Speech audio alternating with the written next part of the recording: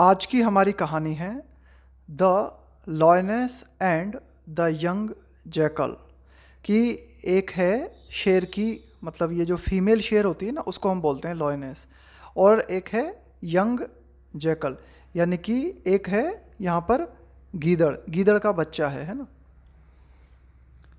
A lion brought a baby jackal for his wife. एक बार क्या हुआ, शेर जो है एक बेबी जैकल को, एक छोटा सा गीदड़ का बच्चा था, उसे लेके आया ब्रॉट फॉर हिज वाइफ अपनी वाइफ के लिए। शी आस्क द लॉइन तो वो जो शेरनी थी, उसने शेर से पूछा where did you get this baby jackal from where did you get this baby jackal from कि ये जो बेबी जैकल है, ये तुम्हें कहाँ से मिला? ये तुमने कहाँ से पाया? कहाँ से लेके आए इसे? The lion said I found it stuck in bushes lion ने कहा, शेर ने कहा, मैंने पाया आई फाउंड इट इट आया है जैकल के लिए, गीदड़ के लिए। आई फाउंड इट स्टक कि यह फंसा हुआ था। कहाँ पर? इन बुशेस झाड़ियों में। And took him out from there और मैंने इसे झाड़ियों से बाहर निकाला। And took him out from there और वहाँ से, ये झाड़ियों के बीच में फंसा हुआ था, वहाँ से इसे मैंने बाहर निकाला और वहाँ से मैं इसे लेके आया। तो इस तरह से शेर ने शेरनी से कहा। द लॉयनेस सैड, शेरनी बोली, शेरनी ने कहा but it's mother and father would be looking out for it लेकिन इसके जो माता पिता हैं, वो इसे ढूंढ रहे होंगे। लुकआउट का मतलब होता है ढूंढना, तलाश करना, कि इसके माता पिता इसे ढूंढ रहे होंगे। You should have left it there तुम्हें इसे वहीं छोड़ देना चाहिए था। देखो शुड हैव प्लस वर्ब की थर्ड फॉर्म का मतलब होता है ऐसा करना चाहिए था। तो ये लीव की थर्ड फॉर्म होती है लेफ़्ट लीव है ना? Left you should have left it there शेरनी ने कहा कि तुम्हें इसे वहीं छोड़ देना चाहिए था। क्यों? क्योंकि इसके माता पिता इसे ढूंढ रहे होंगे। No if I had left it there शेर ने कहा, नहीं.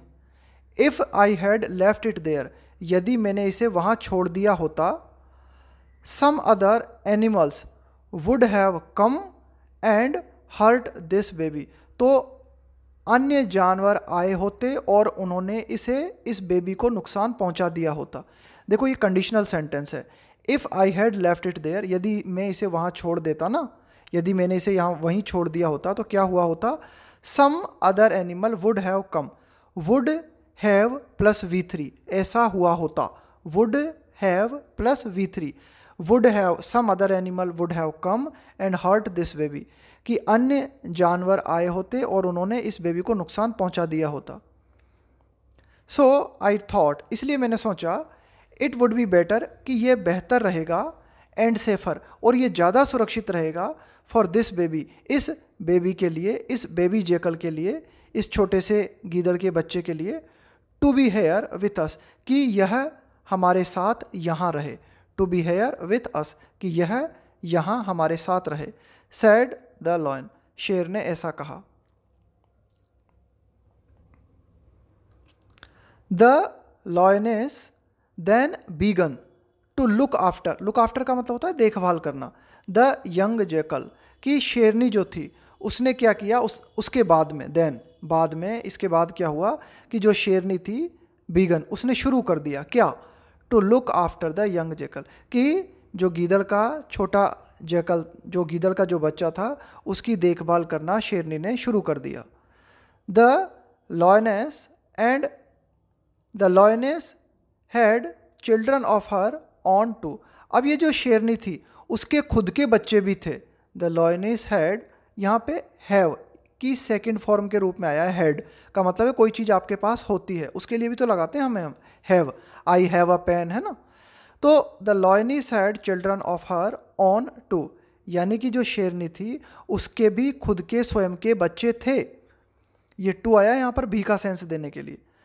They all started playing with each and lived as a family they all started playing with each यानी कि इन्होंने ये जो बच्चे देखो यहाँ पर है ना, ये शेर के बच्चे हैं और ये गीदड़ का बच्चा है। तो इन्होंने साथ में जो है एक दूसरे के साथ में खेलना शुरू कर दिया and lived as a family और वे जीने लगे कैसे?